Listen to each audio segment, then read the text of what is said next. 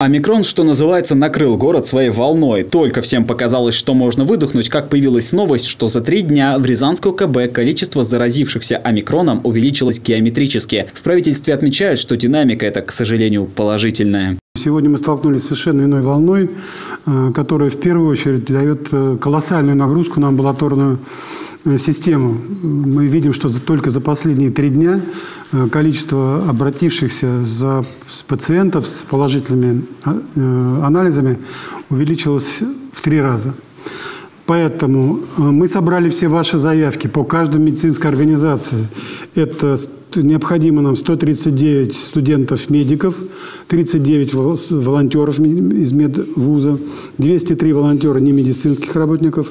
И уже работают 35 автомобилей правительства Рязанской области, которые оказывают помощь в наших организациях. Высокая температура, лихорадка, сухой кашель и одышка – это симптомы, можно так сказать, уже привычного нам штамма коронавируса Дельта. Сейчас же новую волну вызвал уже омикрон штамм. Разница в симптомах, кстати, есть. Об этом рассказала Надежда Бачманова, врач-инфекционист, с которой мы связались по видеосвязи. При омикрон штамме все-таки остается высокая температура тела э, до 38-39 градусов.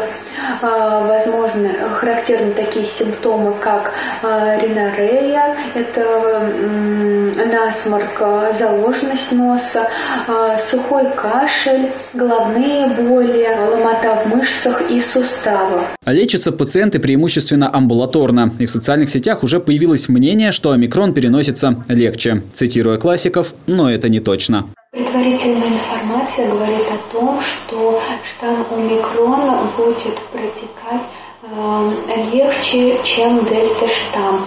Но для того, чтобы нам полностью удостовериться в этом или опровергнуть это, нужны еще дополнительные данные.